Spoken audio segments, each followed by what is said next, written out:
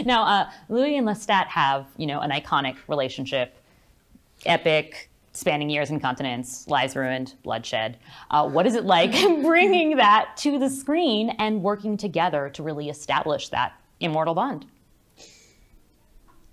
I mean, it's been the greatest partnership, uh, creative partnership in my life.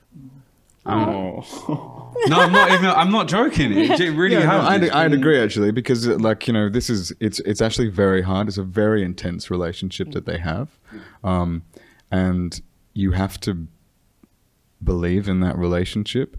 And the things that they do to each other um, are so extreme um, and painful and hurtful and um, and you know it's been fun to have like you know a real buddy to go through that with and and debrief at the end I'm of the not- day. I'm not sure how we how Yeah. we could have done everything that we've done if we weren't like if we didn't really trust each other. Yeah. and weren't Yeah, it would have been awful Yeah. if we hated each other. Yeah, and it is like it's one of the great like it, you know in in in the books it's like when they when they join together again it's such a like even though you know how awful they've been to each other it's just like it's like your home. Mm-hmm. And I think that's that's something that we always subconsciously try to make sure was in there that they are kind of home to each other particularly after Louis' human attachments start mm-hmm. to kind of fall away mm-hmm.